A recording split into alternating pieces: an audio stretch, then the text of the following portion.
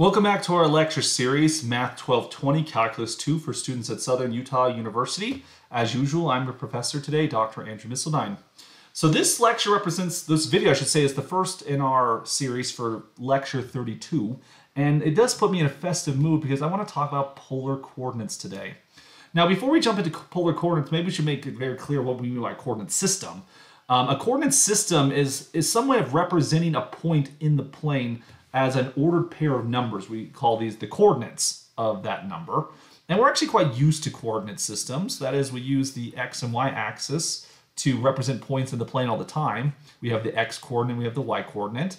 And so if we take a point in the plane, say this is the point P, then what we can do is we can represent the distance that the point is to the right of the y-axis, uh, which is the same distance you see down here. This is known as the x-coordinate. How far from the y-axis are we? That x-coordinate's measuring that. We can also measure the distance above the x-axis that the point is, or you can run along the y-axis as well. And you get this point right here, y. We call this the, the y-coordinate. Um, and so this point can be represented by the coordinates x comma y. And this is a way of trying to represent where is the point located in space, and we can give it an address or we can give directions to get to that point. And curious enough, this is exactly how uh, people in Utah do street addresses, right? Maybe if you're not from Utah, if you haven't lived here for a long time, you're not familiar with this, but Southern Utah University is located in Cedar City, and like most Utah towns, addresses are based by the following system. There is one major road that that travels east to west, and typically in a Utah town, this is called Center Street. Now in Cedar City, this is actually called University Boulevard because uh, it travels through uh, Southern Utah University's campus. Uh, but there's always some center street, some reference of going east to west. There's also going to be a street that goes north to south that's sort of like the most important one. It's typically referred to as Main Street. Uh, this is true for Cedar City as well. And so if you go, if you go, say, four blocks to the to, to the right, or I should say east of Main Street, we refer to this road right here as 300 East. Or if you went like two blocks to the west of, of Main Street, we'd call that road uh, 200 West. Super clever there. Um, on the other hand, if you went, say, three blocks north of Center Street, that road we would call uh, 300, 300 um, North.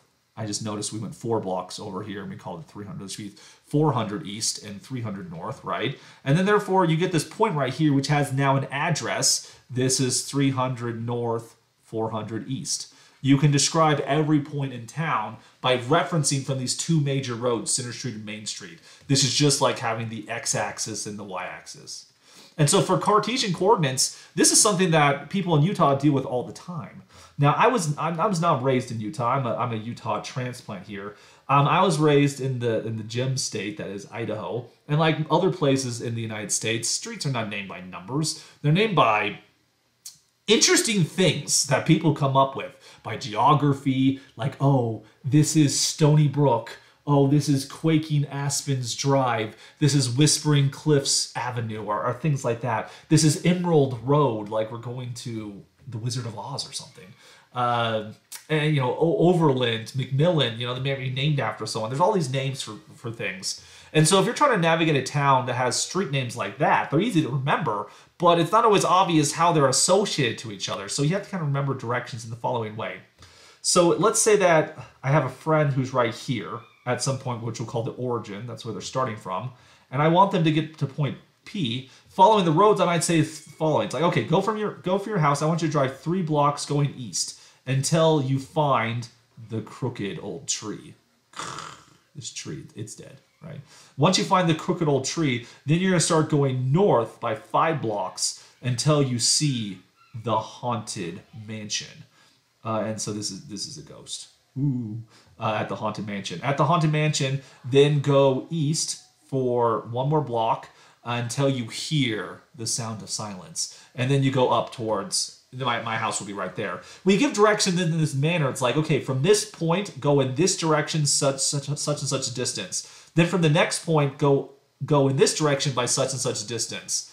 Um, this way of describing directions actually leads to an alternative coordinate system, which is known as polar coordinates. So if we have a point in the plane, like you do right here, here's a point P, the x and y coordinates, again, it's x is this horizontal distance, y is this vertical distance there. Instead, what we're gonna do is the following. We're gonna take a point um, that's gonna be the center of our space. This is where we start. It's called the origin, the origin O, or sometimes called the pole. This is where we're gonna start our journey and take the point that we wanna get to and connect the dots. This gives you a line segment OP. The length of this line segment, we're gonna call it R for reasons that'll become clear in a little bit. And then associated to this, there's going to be an axis, what we call the polar axis.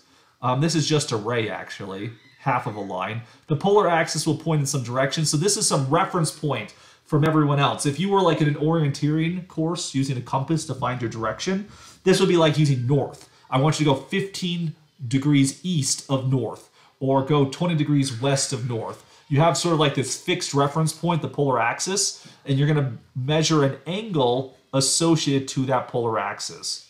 Now, in order to translate between polar coordinates and uh, Cartesian coordinates, the pole will always correspond to the origin, the intersection of the x and y axis, and the polar axis will always be the positive x-axis.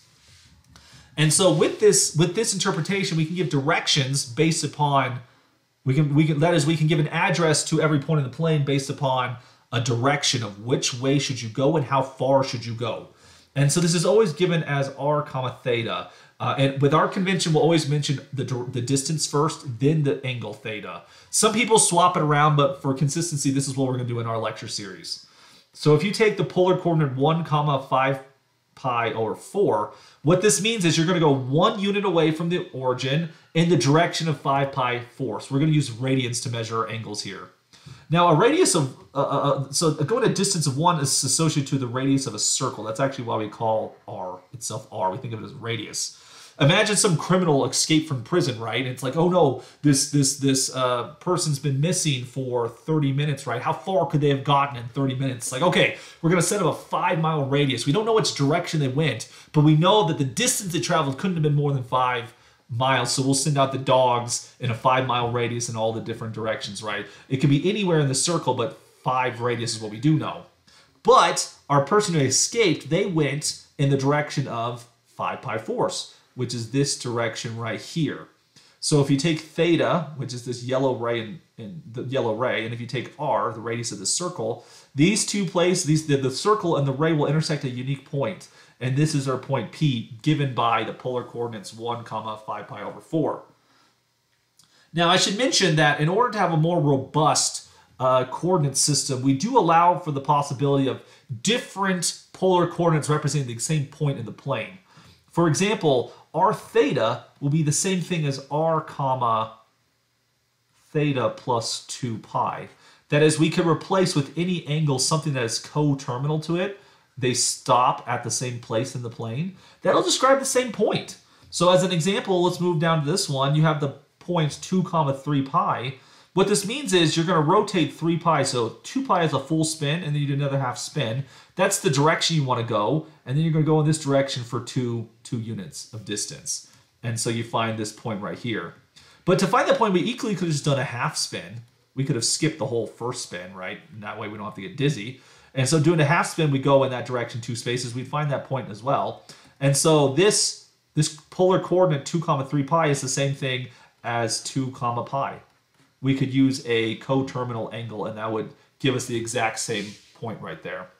Another convention we want to be aware of, again for a robust coordinate system, is that typically by default we want our angle to be positive. And this is associated to a counterclockwise rotation. But in the other direction, if we take a theta to be negative, this will give us a clockwise rotation. And we do want to allow for negative angle measures like we see here. This just means instead of spinning counterclockwise, you spin clockwise. So 2 comma negative 2 pi thirds means you're going to go clockwise 2 pi thirds radians or 120 degrees if you prefer.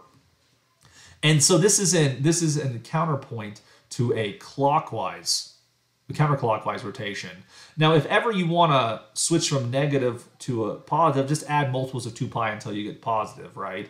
So if we take this same point, 2 comma, let's just add 2 pi to the negative 2 pi thirds, this will give us a 4 pi thirds, uh, which is an angle terminating in the in the third quadrant there. So we could either do clockwise or counterclockwise, but just just distinguish between these things.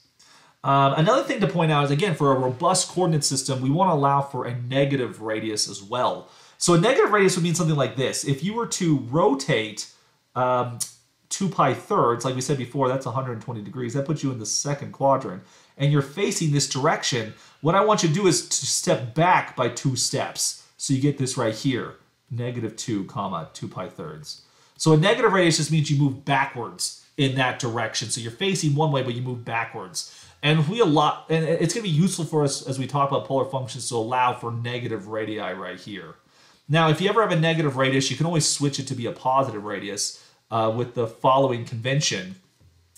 Uh, negative r theta is actually equal to r comma theta plus pi, right? Plus pi, pi just makes it go in the other direction because pi is a half spin there. So it puts it in the other direction so you can correct it if you want a uh, positive radius. So we could write this as the, the point negative 2 comma 2 pi thirds can be written as 2 comma, uh, we want to go this direction now, so add pi to it, we get 5 pi thirds. So that's the same point. And so that gives us polar coordinates, right? Uh, they're very similar to Cartesian coordinates, but they have some uses. They can do some things a lot better than Cartesian coordinates, much in the same way that Cartesian coordinates can do things that polar coordinates can't. So we want to be versed in both of them as we go forward with some calculus problems.